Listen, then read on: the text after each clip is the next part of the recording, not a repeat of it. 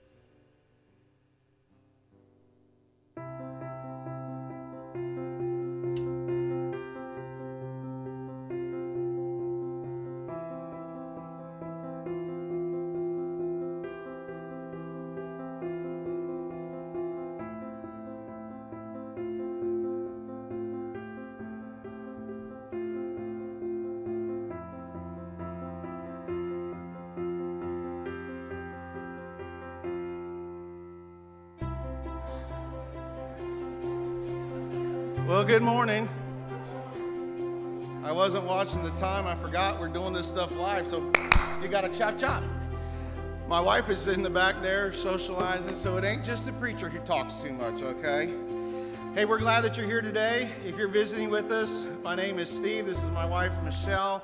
We're glad that you're with us today. I'm getting my sermon in order while I'm talking to you here, and I had a bulletin. Matt, this is why you should have done.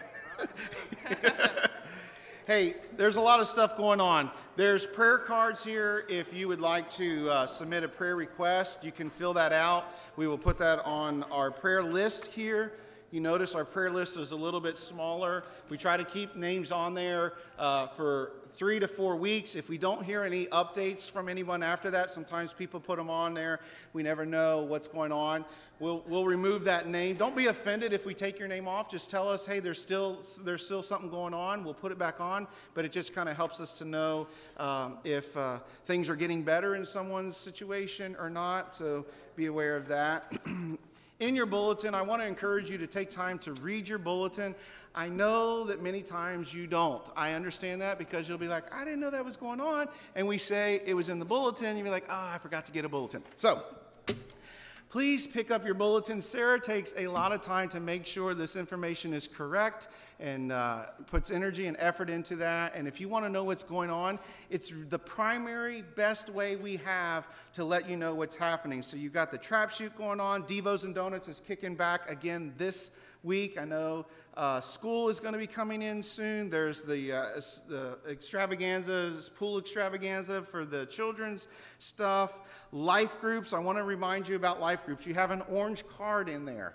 If you want to be involved in a life group or if you want to lead a life group, you're interested in doing a new life group, fill out this card Place it in the, in the offering trays here or at the Welcome Center there.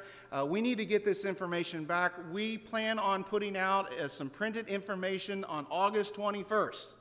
So that's not that very uh, that far away because the launch. I know the uh, high school is launching a little bit earlier than us, but the Wednesday nights uh, children's stuff's going to be kicking back off on September 7th. Uh, that's that first Wednesday of September. We'll be doing some uh, new adult uh, stuff. I'll be teaching a new Bible study class. There'll be other things going on. So if you're interested in that, please get this to us so we can make sure that your small group um, if you, especially if you plan on leading one, if you want to lead one, we need to get that information back. And if you want to be involved in one, we're going to get that printed stuff to you so that as the church grows, uh, the larger uh, and that sort of thing, we need to be growing smaller and interconnecting with one another, just doing life together. So please, please be uh, aware of that. Dinner theater is coming up. oh, yes, before we get to dinner theater, I want to talk about Church in the Park. On September 11th, we're going to have Church in the Park. Uh, if you come here, you got to preach, okay? Because there won't be anybody here. But if you go to the park, I know the preacher out there, he's pretty good. I like him. So go to the church in the park. Don't listen to the heckler in the crowd, all right? I can't even hear what he's saying to me. But um, church in the park, we're going to be uh, having worship out there. We're going to have a cookout out there and just kind of have a good time. Lincoln Trail. So there's information about that. So um, if, if there's someone that you know that comes on Sundays, you don't see them here today, take time to remind them so they don't show up on the 11th and go, Where did everyone go? And we'll tell them, It was the rapture. You didn't make it. You know, so. Uh, we should put a sign on the church and say, We got raptured. You didn't. Sorry. But we won't do that. That's bad, isn't it? Yes. I think it's funny preaching comedy. But anyway. Hey, uh, just let them know, Church in the Park, September 11th. Okay, dinner theater, you see a table out there, is coming up. You might want to know, what is dinner theater all about? I'm going to have Michelle take over and tell you about dinner theater and how you can get involved and what its uh, purpose is. Hey guys! First of all, I just want to say I'm glad to be back. I was gone for two weeks traveling, and it's super great to be back. If anybody follows me on Facebook, you see me talk about some anxiety that I've dealt with uh, as we have been uh, back ministering, and I didn't feel any of that this morning. I just felt excited to be back in the house of the Lord with you guys. So I just want to share that with you um, so that you know that, uh, that this feels like a, a, good and safe place, and it felt good to be back here today. Um, so, dinner theater. You may be asking yourself, what is dinner theater? I'm starting to see sign-ups and signs and fill in. So, dinner theater is just what it says it is. It is uh, an evening that we are going to offer to our community, actually, two evenings that we're going to offer to our community that is a full dinner and a full play, um, and that we're just going to invite people to. It's going to be a free community event. Hopefully, we'll probably serve about 200 uh, people an evening, maybe a little more, maybe a little less, so we'll just see what happens. But um, and so we're super, super excited. And so you might want to know why. Why are we doing dinner theater? Um, so easily, uh, dinner theater is kind of serves two purposes. The first purpose is that for several weeks now, Steve's been talking about just one. Uh, his sermon series is different today, but he's been talking about just one. Hopefully, you guys have been thinking about those just ones in your life that you need to reach out to, that you need to love on, that you need to invite to church. In dinner theater is an opportunity, creates an opportunity to invite people to church without inviting them to church. Um, it's an evening that you can invite them hey, come out. We have this free evening of dinner and a show, and we're just going to have a lot of fun. The play is funny, it is not heavy, it is not, it's just a great way to kick off the season. And um, so that's the first thing it does is it just creates opportunity for you to invite friends and neighbors who don't know jesus we are we're excited we know there will be other people from the community that's going to come that already has a church home and we're going to celebrate the season with them as well but we really want this to be about inviting people um, who need the opportunity to meet Jesus, and we're gonna we're just providing a way to do that. So. Um, so be praying about that, that one person or those few people that you need to invite um, that you hope can see the hands and feet of Jesus. So that's the purpose one. Second purpose is for us as a church body. We have uh, first service and second service, and I know sometimes there are people, I know as I'm talking to people and learning people, they don't know people from the other service. Um, this is a great way for our whole entire church body to come together and work together, have fun together, laugh together, um, all those things that it's going to create. And so I just encourage you sign up if you have questions, come see me. We need people to act, first of all. So I've started seeing some names on the acting list. I'm so excited. Um, we always have women who are more willing than men. We need men too. So if uh, I know several of you are characters, I've met you, seen you, talked to you. Um, so even if you've never acted on stage, I am certain that you can act because uh, you act up every day. So, uh, so sign up. Um, we have a couple of kid roles, like for boys, they could probably be girl roles too. So uh, just keep that in mind if you have children. Um, and so, but not only that, if you're not an upfront person, which I get, um, I was never an upfront person. You can ask Steve many moons ago when we first did dinner theater at a church we were attending. Uh, Steve said, Hey, You've been doing dinner theater, so you're going to talk the whole night of dinner theater. You're emceeing the night. I said, Absolutely not. And I threw up before I got up. I could not hold a microphone in my hand. I actually had to wear a headset because I shook too much. And I had note cards that I had to read from. Um, as you can see, that's not the case now. So uh, God grows us um, in areas. And so some of the other areas that we have are background areas. We need people who can who are willing to be servers, who are willing to serve food the night of dinner theater. We need people who are greeters, who are willing to greet. We need people who will do coat check. That's a whole new thing that we've got to figure out because in Florida, you don't worry about coats in December, sorry. Um, so we will need people to do childcare the night of just for our workers' kids. We don't provide childcare for the community, but we will for any, anybody who maybe has kids that will be working that night um, people to do parking, people to do food, people to do tech, people to do set building, people to, to um, be stagehands. Like everybody uh, has a place to be involved. So, literally, we're a church of 200. We will probably need about 100 people to really make this a success. And even if you are like, I don't know what to sign up for, show up because we just want people to see the love of Jesus through us. We want to be able to mingle and talk and share. Um, one of the things that we hope to create here that you guys already are so good at. We were just talking this morning in Sunday school about what a loving um, church this is, uh, just loving each other and caring for each other. And we want our community to just see uh, that, know, and, and we want to provide opportunities. So sign up, come see me if you have questions. Sign up to ACT, men out there. I know women, there are still women roles out there too. So um, come be a part of this. I think it's going to be a really great thing. I'm going to ask us to stand. I'll have an opening prayer and we'll begin with our worship time. Father God, it's been so good to be here today at this first hour. What a great uh, time together and this hour that you have before us laid out as we gather together in song, Father, and around your table. May Jesus be lifted high. May you uh, just in, uh, empower us, Father, with the Holy Spirit just to live out every day to the fullest for the glory of God. In His name we pray. Amen. Good morning, church. It's good to be in the house of the Lord. I hope you brought some joy with you this morning, but if not, we pray that you would just come in, bring those struggles, and lay them at the Lord's feet, and just take on the joy of those around you as we worship together.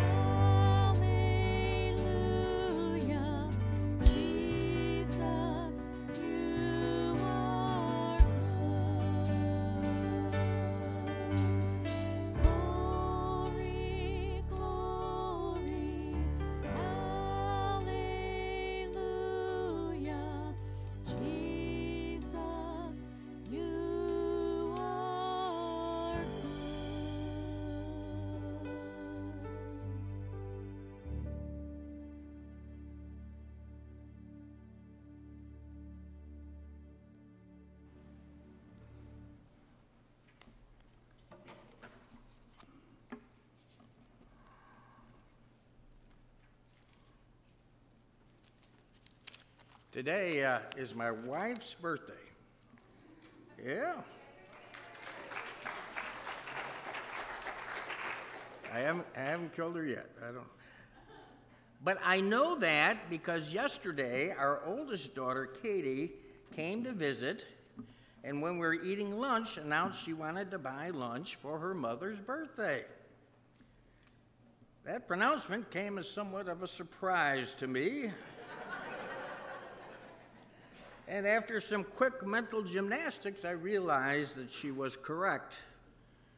I then compounded the situation as we discussed the matter by being off one year on her age in the wrong direction. but at least I got Sally's name right, so I guess I don't have anything to with it. Later, I had a chance to reflect on forgetting and remembering. Many of us have been through trying times. It may be conflict with family and friends or problems at work, financial difficulties. We may face significant life changing events, end of a marriage or relationship, loss of job and income, our own health issues, or perhaps even worse, the health issues of family members and their passing and leaving us behind.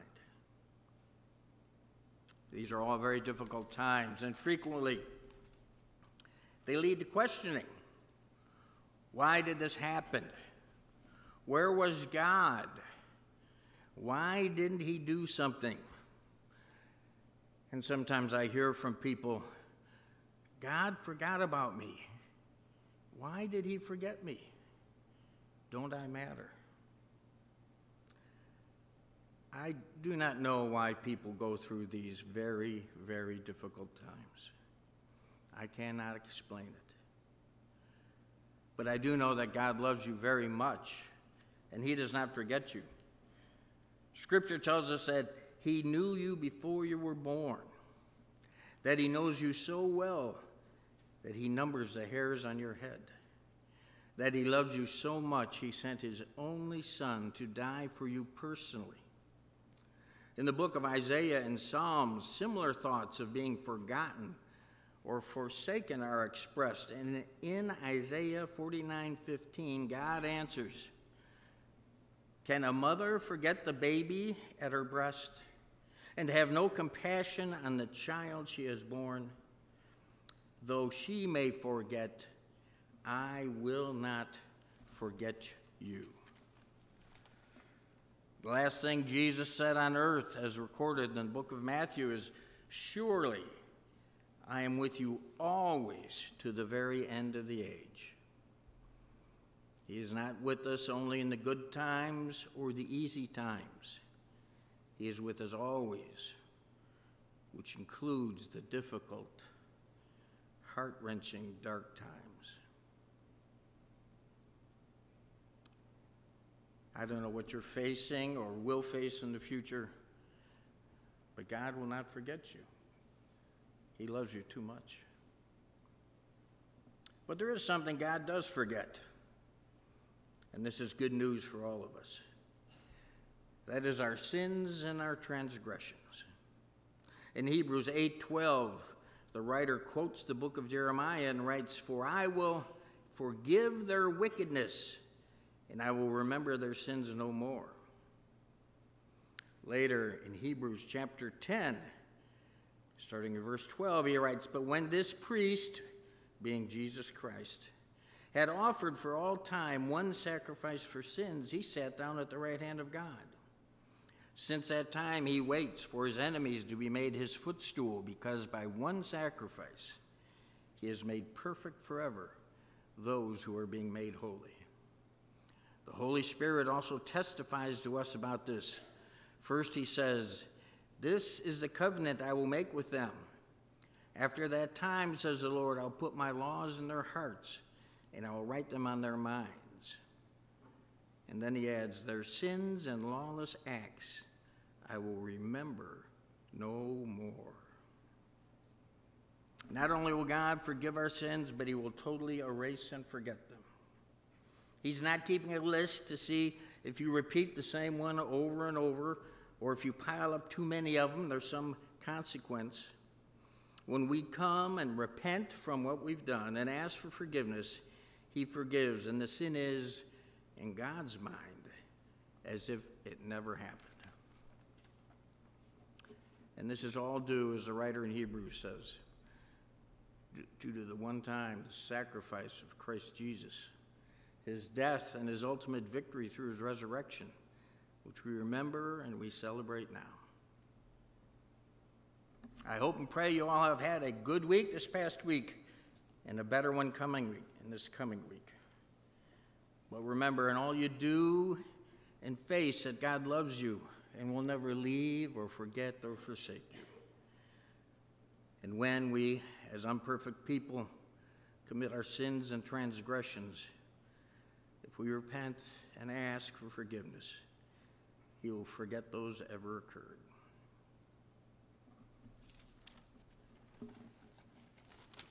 And I don't know if there's some here that don't know Christ. Some who feel their sins and their life is so unworthy they can't possibly become one of God's children. I know that for many of us, including myself, we came as adults with a long list of baggage and problems, unworthiness, and God loved us and brought us into that. If you're in that position, I just encourage you to make today the day of your new life. Come, ask for forgiveness and repentance, make Christ your Lord and Savior. Let's pray. Father, we come now to our time of communion, a time when we can sit and reflect back on the day of our new life. Now, through your Holy Spirit and the intervention of saints, you came and taught each one of us in different circumstances, in different places, about the God who loves us and the Savior who died for us and rose again from the dead. We thank you for that. We ask for forgiveness for the times we've fallen short in this past week. We ask that you help us do better in the coming week. We know that uh, we are only human, that it's our path to try and become more like you step by step and day by day, and we ask your assistance in that. But we ask especially that you help us to teach others, that the people we come in contact with will see you through us, that lives will be transformed, that in the future people will be able to look back and be thankful that we crossed their path because they came to know you in part because of our efforts. Help us, Lord, to keep our eyes on you in all we do. We love you so much, and we are so, so thankful. And it's in Jesus' name we pray.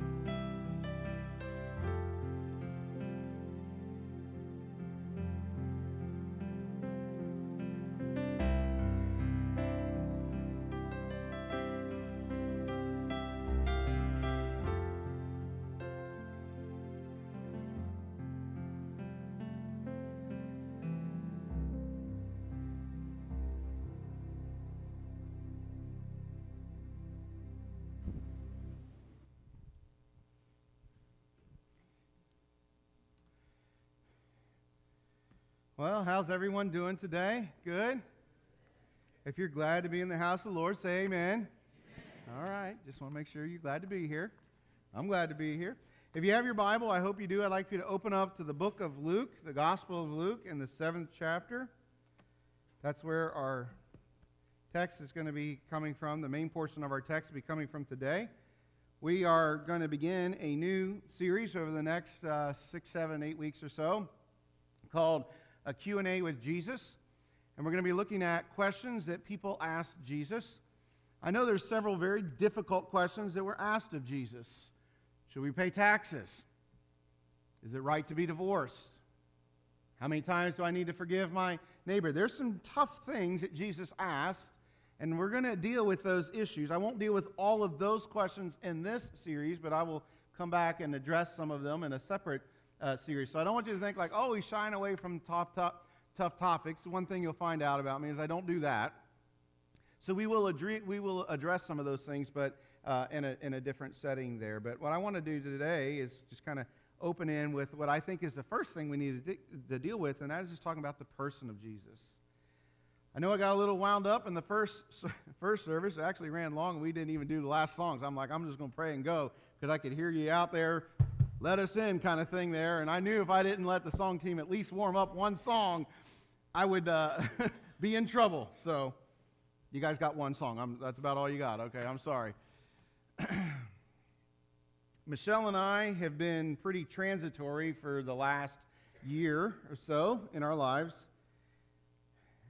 Two years ago or so, we married off our daughter. They uh, just celebrated their second anniversary at the beginning of August, and that was great. And our son at that time was 20 hours away from us in college in Missouri. We were empty nesters and ready to leave, and just life changes. So we sold our house in Florida. We uprooted from our lives there of the last 15 years, and we stepped out into an unknown future.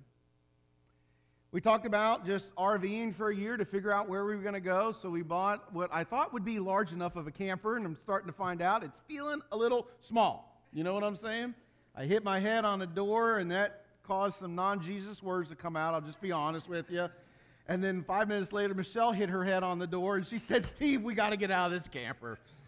I said, I, under- I understand, sweetie. I understand. We're working on that. So God's blessing us, and that's coming along. We started to travel, though, and um,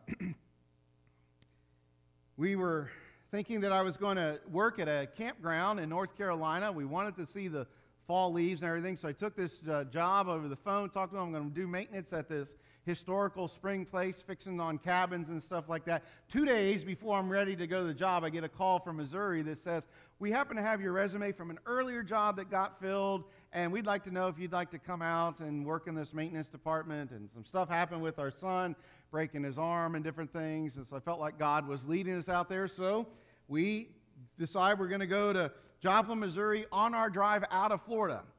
And then we said, well, let's go vacation a little. We, we haven't gotten away, so we drove up to New York, went to Niagara Falls for a week, and had to come down and fix some stuff in the camper and whatnot. We made our way over to our new job at Ozark Christian College. We bought a house there and started making plans, started fixing it, and I started to think that God might be calling us back into the preaching ministry, which was very unusual because when I left Florida, I said I would never do this again. 20 years had been enough. I'd been in the meat grinder long enough, and I just, the, the hurt and pain we'd left from some of those ministries, I just said I wouldn't do it again. But now, being there, I just felt like God was maybe speaking to us again. Within a few days of pursuing that God nudge in my life, I was told basically that I had lied on my resume for the college and I was fired. That was the first time anything like that had happened to me in my life. Our house repairs were not complete. We had fold up furniture in the, in the house. We, were, we, we didn't even have a working kitchen. The cabinets were all apart. And I thought, we're going to have months to fix this. And now I had, you know, no job and just, we got to sell this house. First time we ever bought a house debt free in our life. We were in it for three months and had to get rid of it. You know what I'm saying? That kind of thing was happening in our lives. After declining to pursue a church offer to us in Springfield, Missouri, which I felt like maybe we should go to, but after thinking it through, there was just some signs there that made us uncomfortable. And I said, you know, I'm, I'm, I'm just going to pass on this right now. We were contacted by the Marshall Pastor Search Team. Just a few months after that, you know, we've relocated here to a new place in the middle of another house remodel, new career getting started, new friendships being formed. With all of that upheaval going on in our lives, Michelle and I began this little thing that just kind of works with us where we look at each other and we would say, Loves me? Love Loves you too. I look at her and say, Loves me. She always replies back to me, love you, and I always reply back to her, love you too. And then she would do the same thing to me. So I want to let you in on our little love nest fun here, okay? I'm going to say to the whole crowd, love you. See, love you too. It feels good to be told that. And we say this, I mean, multiple times a day because it reassured us that in the whirlwind of our life right now, we are loved by each other and it's been very good for us. When your life hits rock bottom and God seems quiet and distant, you can start to think Did I make a mistake? Did I make a wrong choice somewhere along the way? Should I have chosen a different path to follow or a different profession to pursue? Or even, did I marry the wrong person? It's at these times in your life that you need a reassurance that you need to hear, Love me? Love you too.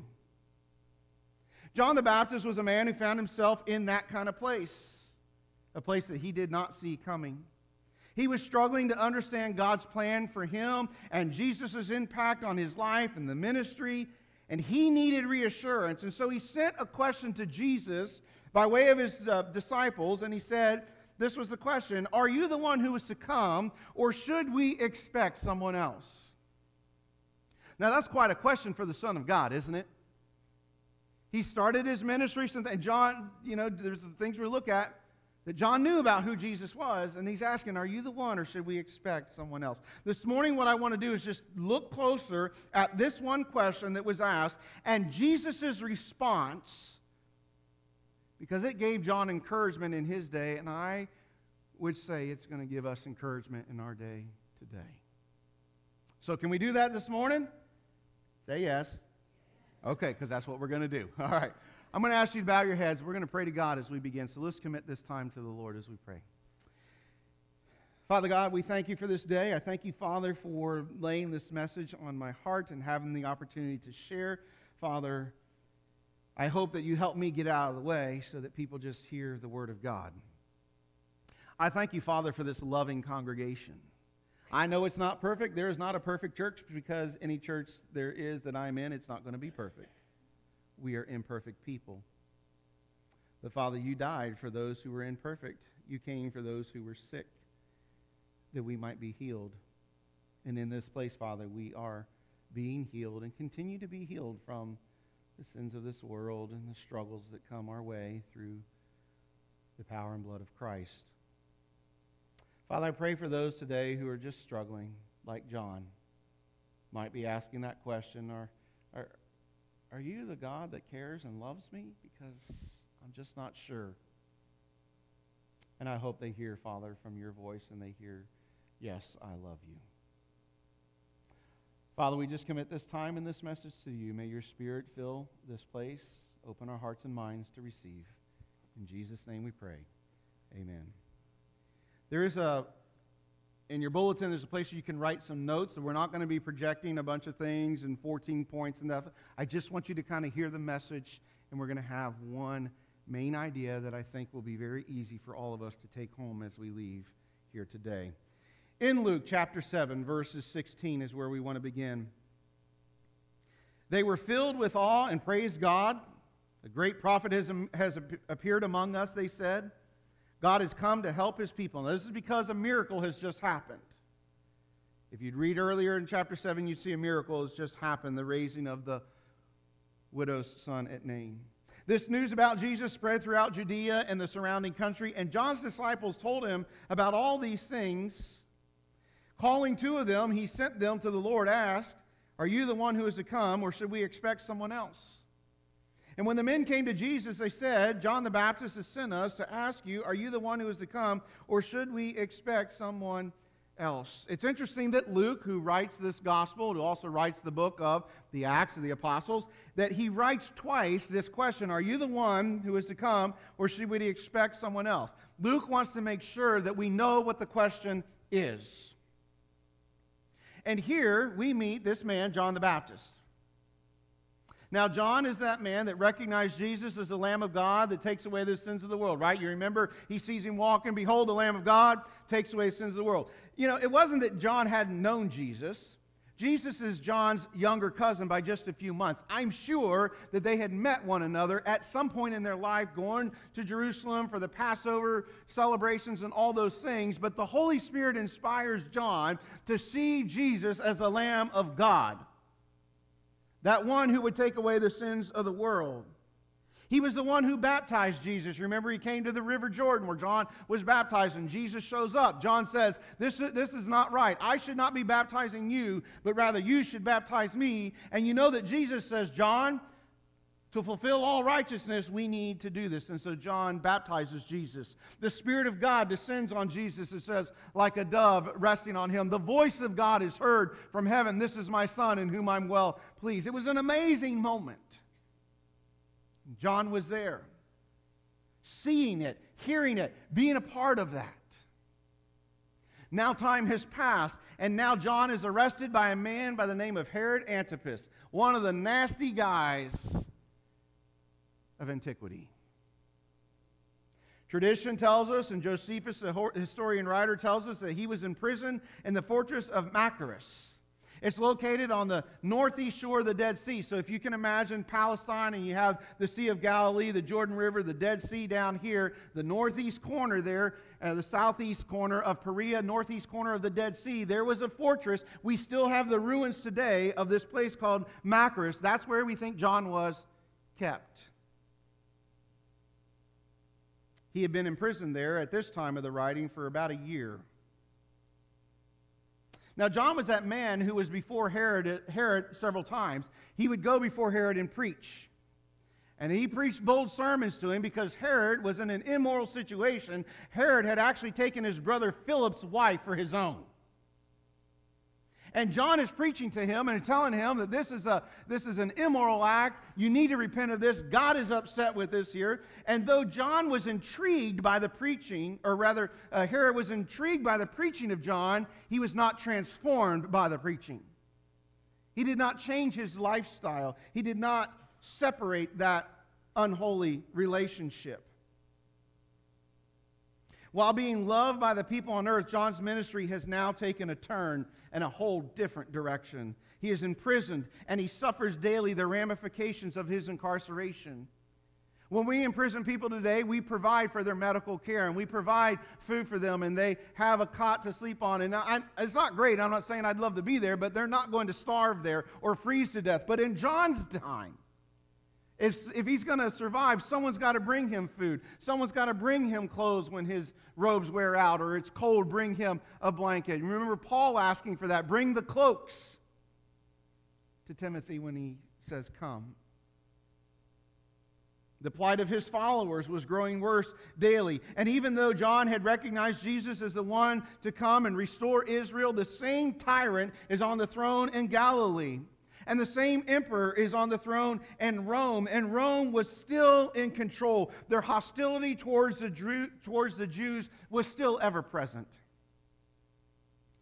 John was like most, I think, like us, or, or most everyone in their day, that was thinking that when the Messiah would come, he would bring a military or political revolution. And that hadn't happened yet. And in John's mind, he's thinking, when would it happen? And why is there a delay? And then John hears the reports of Jesus' ministry and thinking about his own situation. I mean, isn't that the way of it? Your life is going so bad, you put on some extra pounds and you put on that dress you haven't worn a long time and it just don't look good. And then you pick up your phone and there's someone that's like Photoshop their thing and they have the most beautiful dress in the world on. They're like, look at my new dress. Or you try to get a date for homecoming dance or whatever and you get rejected and someone goes, oh, Tommy asked me out. I'm so happy. I'm going with, you know, the captain of the football team or whatever. Or you lose your job and someone says, This is amazing, I got a raise, 50% raise, it's awesome. Just throwing that out there, guys. I'm just joking. you know, when your life hits rock bottom, you pick up the you pick up the, the you pick up the phone and you see everybody else's highlight reel and it looks like their life is amazing and yours is, is in the dumper. And that's John. John. John's ministry is not gone the way he wants, but he hears Jesus' ministry is going great. And even though John said he must increase and I must decrease, he knows that intellectually, but emotionally, that probably had to be hard at times. I mean, I would struggle at times when different churches I was at and, and we were struggling with ever, and I'd talk to my friend and go, Well, we had a new building program. We built a new gym. We built a new this and new that. And I'm like, What in the world is going on? Don't send me your highlight reels when my life's in the dumper. That's how we were feeling. That's how John was feeling. So John sends his disciples to ask the question Are you the one who is to come, or should we expect another? Now, commentators have understood this reasoning to kind of fall down into two basic camps. There's several different variations, but it basically comes down to two things. One can understand the question in this that John is asking the question for the benefit of John's disciples who are seeing John's situation and maybe they're starting to think like, nah, John, this can't be right. He can't be the Messiah. You know, you're here. Why would, why would God put you here in this dungeon? You know, Herod's not listening to you. This isn't good. And so they think that John's holding firm. He understands Jesus' ministry. He's okay with what's going on, but he wants his disciples to realize this is the plan of God. So go ask this question, and Jesus is going to remind you that this is the way it should be. Well, I guess that's one way to look at it. The other way to look at it is this that John was asking for his own reassurance. He trusted in the words that he had said, inspired by the Holy Spirit about Jesus. I'm not saying that he did, that he went back on that. But his present situation was causing him some doubts. If the Messiah were here, why was he, John, in prison? Why was he facing such terrible circumstances? Now, because I like to read the Bible with what I call, without what I call precious moment glasses. You know what precious moments glasses are? Do you know what precious moments are? Right? The little, the little figurines are, that are eh, pastel colors and everything. One of my favorite little figurines is where there's the guy and the girl, and the girl is holding the hammer, and she's like, and the boy, there's a, there's a nail there, and his thumb's like 17 times the size it should be because she smacked his thumb, and he's just looking at her like, now, if my wife smacked my thumb, I wouldn't be looking at her like, I'd be like, girl, man, what's your problem? Wouldn't go good for me that night, I'm just saying. But, you know, but we precious moments things. We take life and, and we, we glamour it all up. I, I tell Michelle, because Michelle, I'm generally, I'm working on this, but I'm generally the glass is half empty kind of person. I tend to see the negative first. Michelle is like the glass is three quarters full. You know what I'm saying? She's like, she's, uh, so we balance each other out in that way. But I used, I used to say to her until she got, I said, stop looking at the world through rose-colored glasses. Look at it. I live in Realville. Well, one day she got me rose-colored glasses, and she said, you might try these. It would help out. I put them on and it hadn't helped out. Just, eh, it still looks as crappy as it did before, you know, whatever. I don't like to look at the Bible through rose-colored glasses. And so when I look at this, I think that John is struggling to hold to the truth that he knows in his heart because he sees the reality of going around him and it just doesn't make sense. I think it's kind of like Thomas when Thomas says to Jesus, I believe, help my unbelief. Have you ever found yourself there? In a pit? In a dungeon? In a situation where your physical surroundings and situation have caused you to say, God, are you there? I never read this book because I'm not really that great of an avid reader. But I also didn't read this book because it's about adolescent girls, and that's not my thing. But it was a, I remember the title because of where I was. It was a Judy Blume book, Are You There, God? It's Me, Margaret. Now, has any, any lady in here read that book? Please let there be one. Thank you. In the first service, there was no one. I could have made that book about anything. It was drag racing time. NASCAR was going on. They wouldn't have known. They'd been like, you know, whatever.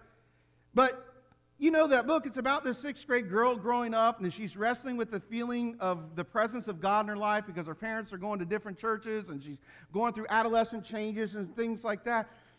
I didn't read the book, I just remembered the title because I was in fourth grade in Miss Dockery's class where I cheated on some stuff and homework. I'll tell you that story another time, but I was feeling very, very alone. We were not in a Christian home at that time. I was things were not good with growing up with my dad and, and, and discipline issues and whatever. And I just remember asking, Are you there, God? Have you ever asked that question? Are you there, God? It's me, and you fill in the blank. It's me, Thomas. It's me, Sally. It's me, Jonathan. Feeling apart from God, folks, is not a sin. Almost every Christian leader or preacher that I know personally has had a season or a time in their life where they felt alone and distant from God, where their situation didn't turn out the way they thought it would or should. They knew intellectually that God was real. They had read the Word of God, but emotionally they were alone and they were struggling to hold on to the hope that He cares for them. Even Jesus cried out on the cross, My God, my God, why hast thou forsaken me? Now, I know that Jesus is probably quoting Psalm 22 and that whole passage about the dogs have encircled me and, and uh, they've gambled for my uh, clothes and that sort of thing there. But, but like I said, I don't look at the Bible through these precious moment glasses. I think that Jesus was struggling in that moment, feeling distant from God. Now, I don't know how he could do that because he is God, but don't precious moment Jesus. Don't do that. Because the moment you precious moment Jesus and remove the humanity from Christ, he ceases to be the high priest whom we can relate to as described by the writer of the book of Hebrews. Folks, Jesus had bad breath in the morning. He had some bad days. If you take the humanity away from Jesus, you can't relate to him. So don't do that. I think that Jesus struggled in that moment. If you feel like John, I want you to know this you're not alone. You're not some terrible sinner because you feel distant from God, and you're struggling to see that He cares for your life. I have been there. I left a preaching career of 20 years because I could not see past the negative stuff that was going on in my life. I remember the day I was sitting in my office and I was trying to come up with a sermon, and I had been struggling for a while to read the Bible and come up with a sermon. And I went in and I asked my partner, I said, Can you preach this Sunday? I just have nothing left. And he said, No, it would take me too long. And I said, Forget it, I'm done. I quit. I just hit that wall. I went in, I told the elders, I sent them an email, I said, uh, This is my last sermon on Sunday. I'm out of here preached another four weeks and did a lot of other stuff. But man, when I left, that was just it. I had just hit a wall and had quit. And I asked God lots of times, Do you see me? Do you see what's happening? Do you even care at all? And let me just tell you that He does. I know it might not seem like He does, and He doesn't make sense most of the time in my life. His ways are not my ways, they're not what I would do, and thank God for that. But try to hold on to the head knowledge that you know about God, that God loves and He cares for you, even if the heart knowledge is shouting so much louder. John's disciples asked Jesus this question. So, what was the response? Let's look back to the text. Come back to verse 21. At that very time, Jesus cured many who had diseases and sicknesses and evil spirits, and he gave sight to many who were blind. And so he replied to the messengers Go back and report to John what you have seen and heard. The blind receive sight, the lame walk, and those who have leprosy are cleansed, the deaf hear, the dead are raised, and the good news is proclaimed to the poor. Blessed is anyone who does not stumble on account of me. Now, here we have to pause for a moment and take in Luke's editorial comments. You have to remember that Luke is writing this gospel account years after it has happened from eyewitness accounts, and he tells us that at the same time that these men are coming to see Jesus, Jesus is doing these miraculous things. At the very time while they're walking to go ask the question, Are you the one? Jesus is healing people. And Jesus is preaching. And it's clear that these men, these two, these two witnesses, these two disciples of John, they witnessed these miracles for themselves. Now, why does Luke point this out?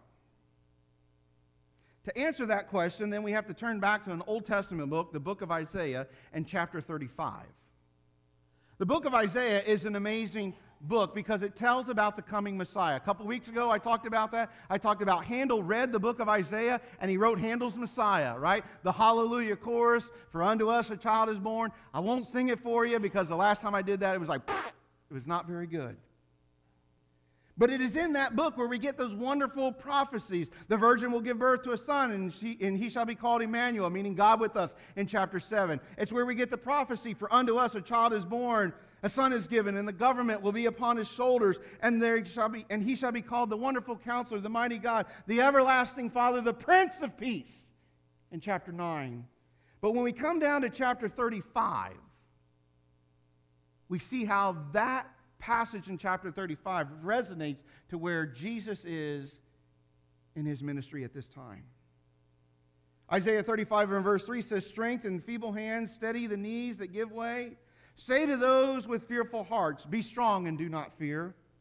Your God will come. He will come with vengeance. He will, with divine retribution, He will come to save you.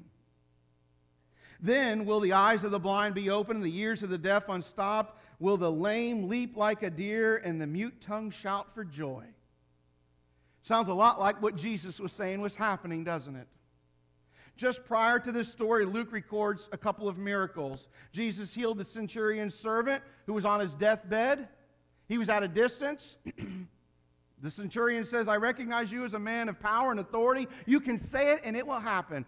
Please heal my servant. And Jesus says, Man, what great, amazing faith. I haven't seen it anywhere in Israel except in this centurion guy, and tells him he's going to be fine. And that man was made well. Then he goes into the city, and, and there the widow is where her son has passed away, and he raises the dead woman's son in Nain by simply saying, Rise up, come out of your sleep. Jesus tells then John's disciples, Return back to John and tell him what you've seen. Tell him that the blind see, the deaf hear, the lame walk, the dead are raised, and the gospel of God is being preached. It's interesting that Jesus never directly answered John's question. Very rarely does Jesus directly answer any question asked of him. He answers in a different way. What he did for these guys was he points them to the evidence going on around them of the miracles and the preaching, and he says, A good student of the Bible would know then that I am the Messiah. Sometimes the best lessons is the one that the student learns without the teacher giving the answers. A teacher can give an answer, right, to someone who has a question, but the best lesson is where the student is helped to come to the conclusion themselves. Let me tell you how Jesus did it in the Bible. A man came up to Jesus and said, Who is my neighbor? Right? You remember the story. You know where I'm going. It's the story of the Good Samaritan. And he starts telling this story. Jesus says, Well, there's a guy, he's on the road, he's beat up, left for dead. He talks about the priest coming by, the Levite coming by. They don't do anything to help the guy. The Samaritan comes by, who is the unlikely hero of the story, stops, picks him up, puts him on the donkey, puts oil and, and wine on his wounds, takes him to the end, cares for him, promises to repay any debt that he has when he comes back. And then Jesus says to the man, Now you tell me who is the neighbor. And the man says, It has to be the one that acted with love. Jesus says, You're right. See, those are the lessons we remember, the ones that we come to understand on our own. And Jesus did that. John would receive this answer from his disciples about Jesus' ministry, about the miracles that were going on, and he would know that though his situation isn't what he desired, he was not wrong in identifying Jesus as the Messiah, and he is the one who was to come and who has even come now. So, what is the takeaway for us today? Have you ever wanted something and when you got it, it wasn't what you expected? Have you ever wanted to go date a person? You think, man, I just wish I could date that person. And when you finally get the chance to date them and you come home from that date, you wish you had those last three hours of your life back? You ever been there? You're like, that, that wasn't so great. You wanted that new job, and when you finally got that new job, you realized it wasn't as glamorous and your other job was a lot better than the new job you had? Or you think, you know, I'd like to go to that new church or hear a new preacher, and you go to that new church and you find out it has just as many problems as the last church, and that new preacher ha- will let you down just as much as the last guy let you down? Not that that would ever happen here.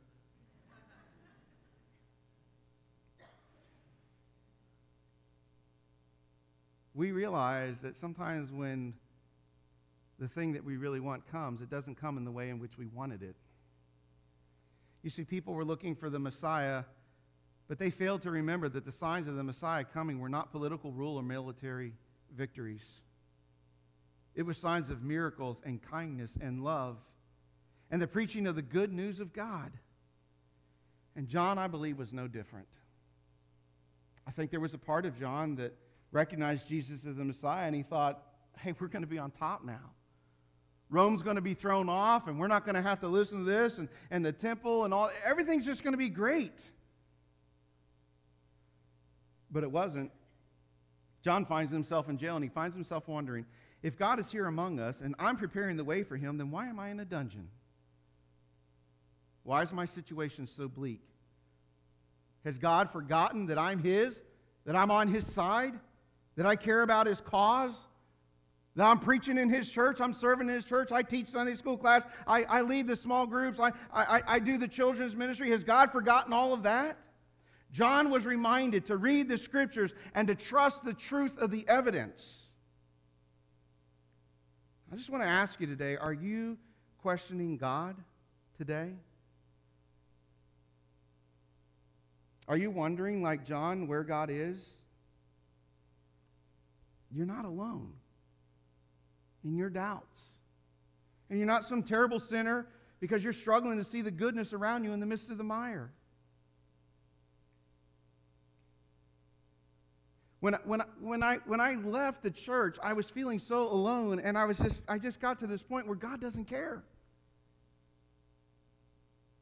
I, got to the point in my life where I said, God exists. I didn't come from some, you know, primordial, primordial ooze and some spark happened and out came a human being. I just, I mean, I couldn't believe in that, but I just thought, he's over there. He don't care what happens to me. And in return, I kind of said, well, then I, I don't care either. I'm not, I'm not proud of these moments, and I'm not saying follow my steps. But I just thought, a great story in this book of old. And I don't know where it happened, but somewhere along the way, is the Holy Spirit opening? I, I don't know, but I just remember that finally someone said, You know, He loves you because He died for you. It used to not be enough. I hear that and say, no, you know, big deal. But somewhere along the way, it just happened one time when I just realized that if Jesus died, if Jesus died for me, then he loves me. And life sucks around me. I understand that, but he loves me. And it just got in my mind that I realized that, okay, my ministry is over with in that respect. And it didn't happen the way I wanted to. And the friends I thought would not leave me have left me. And you know, I don't know what I'm going to do. And I, am feeling depressed. But he loves me. It just got to that point. Folks, He loves you. I don't know why God allows you to suffer in seemingly silence. I don't know why He allowed me to suffer in the silence and just watch it all fall apart. I don't, I don't know. And I don't know how your story will end. I don't know when your hardship will be lifted. John's wasn't lifted. John died in prison, his head was cut off. I'd like to tell you, and I will not give you false promises where people say, it'll get better. You don't know that. Don't tell someone that it'll get better because you don't know. When you lie to them and say that, it makes it worse when it doesn't get better because now they feel like there's doubly something wrong with me. Just tell them you'll be there and that reassure them that God loves them. Don't tell them it'll get better because you don't know. You can't see the future. You're not God. I don't know when your hardship will end. I don't know those things, but I know this that if Jesus were here today, in this room right now, which he is, but if he were here in this room in person right now and he could hear you ask this question, I know that he would say this. He would say, Have I said that I love you? Did I die on the cross for you?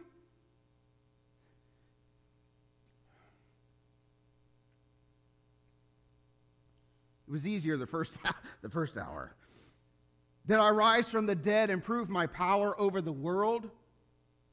You may not understand, but believe me. Trust in my words. Trust me when I say that I'm coming back to receive you to myself. Hold on for a little while because the darkness may last for a time, but the morning is coming soon, and so am I. Amen. Folks, Jesus is coming for his church. Life is hard, it's lonely at times. We will have seasons where we feel distant from God and things will feel hopeless and bleak and dark, but hold on. Trust in the truth of the scripture that you know intellectually so that you can see past the momentary troubles of this life. I'm not saying that they're light and they're simple, but they are momentary. They may not feel that way when they've gone on for 10 years or 15 years or 20 years. But in the light of eternity, they are momentary. And here's where I would say to the church let me just challenge you, church. You know why so many people think that God doesn't care about them? Because the church has failed to care for each other. And I know that personally because of a church of 270 people that I lived a half a mile away from. Only four to five families even cared to see us after we were gone. And I lived there for another two and a half years. I thought I was having a heart attack shortly after that. And none of those people came to see me that I thought would come to see me. It was the odd outlining two or three people that came to see me. I would not have felt as alone and as upset with God if the church had still come around and said, You're not our preacher anymore, but you're a brother in Christ and we love you. We care about you. How can we help you? What can we do? Folks, we are here to carry each other's burdens while we wait for God to take us home.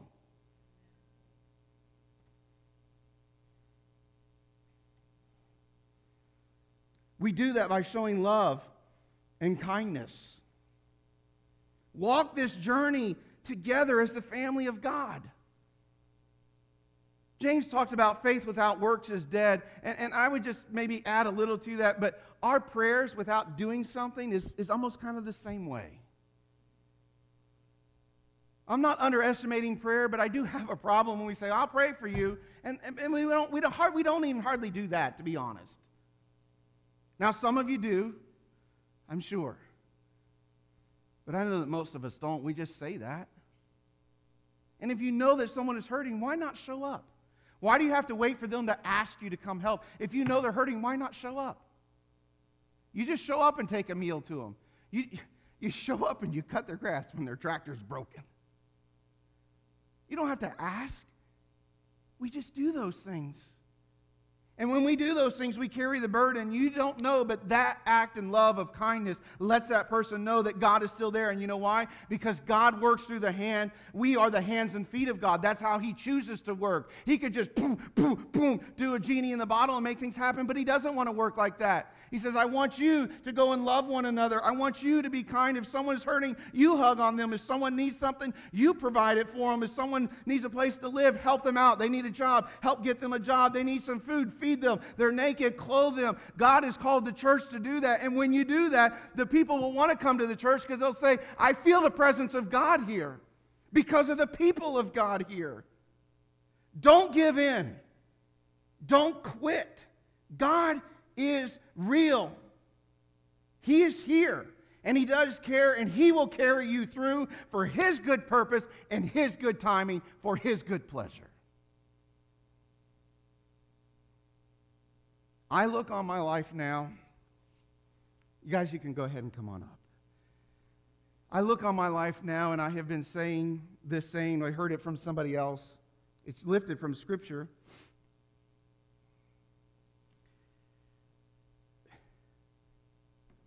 Thank you is just not enough to say to God. What He has done in our lives since we've come here. It's just not enough. I won't sugarcoat things. I won't exaggerate. we have never been loved as much as we have been loved by this church in the three months we've been here. We've had good people in our lives in our last church. I'm not saying they were all terrible, but we have not been loved to the extent that we have been loved here. We have not had people pour so much into our lives to help us to get into our home and stuff as we have here. Working with a great team of people. I'm not saying the church isn't without their problems, that I don't have my problems, the church doesn't have their problems. It does, every church does. But I know this that God has been restoring.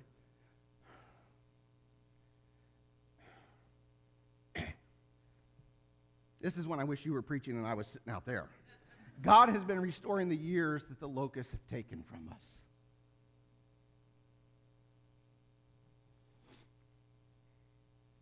In my heart, I was like John, and I thought, God, where are you?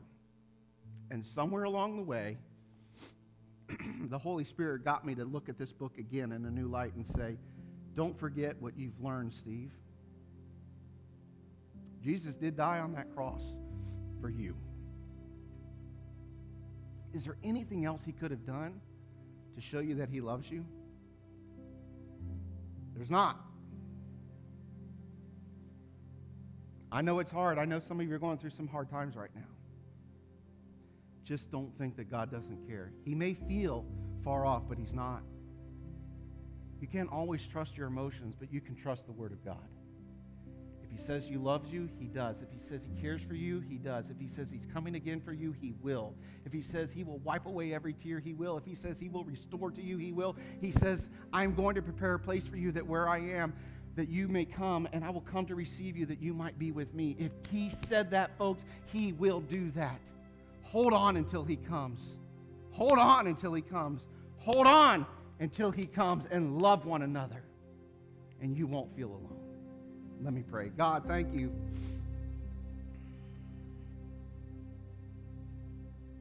They just sound they just sound hollow. Those words just sound hollow. But thank you. Thank you for what you've done in my life here. I'm learning to look back on the struggles and say thank you for those struggles. Because I know that when I see you, I will not walk into the kingdom of heaven without the scars of serving Christ. I'm starting to understand what the Bible writers were saying when they said it was good to have suffered for the cause of Christ. And I know that mine, honestly, Lord, have been light compared to so many others. They've heard all the same, but you cared. Father, there's people in this audience right now that are just struggling with life, whatever it is. They've gone through loss, and they're still working through that pain. They're going through moments of doubt, and they're still trying to find the truth. There's some that haven't been able to let go of the sin of their past. There's that, there's that event that happened, that relationship that failed, that, that marriage that ended wrong. And they've never been able to let that go. Father, let them let that go today. Let them just put it at the foot of the cross where every sin in the world has already been paid for. There's no need for us to carry that burden anymore. And Father, challenge all of us to love one another here, to care for one another, to be inviting of one another, to get in each other's lives, Father, and to be the hands and feet of Jesus. So that when people look at First Christian Church right here in Marshall, Father, that they see you. They see you. May that be our prayer in Jesus' name. Amen. I'm asking you to stand as we sing an invitation song. I'm going to come down front here. If you don't know Jesus as your Lord and Savior, I'd love to talk with you about him because he has changed my life. I'm not saying all your problems will go away, but I know this that God will be with you, he will carry you through, he will bring you into eternity with Him. And when this world is over, none of this is going to matter. But what you do today to follow Him will make all the difference in the world.